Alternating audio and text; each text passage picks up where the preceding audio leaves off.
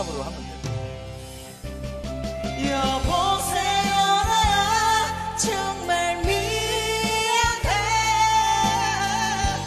이기적인 그때의 나에게 그대를 다시 불러오라고 미친 듯이